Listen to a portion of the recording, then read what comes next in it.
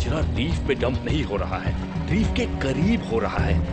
तुम ये सब बातें छोड़ो, जो मैं कह रहा हूँ, वो करो। मेरी बात समझ गए? अब मुझे जाना है, बाद में बात करूँगा। ठीक है?